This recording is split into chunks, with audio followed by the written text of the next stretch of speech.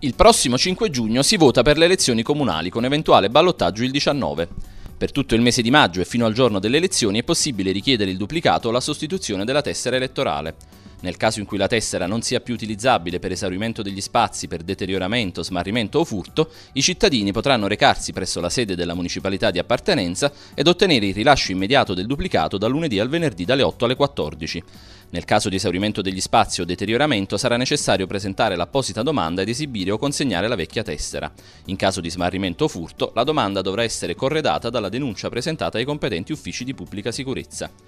Dal 23 maggio le postazioni delle municipalità saranno potenziate e gli orari estesi dalle 8 alle 18.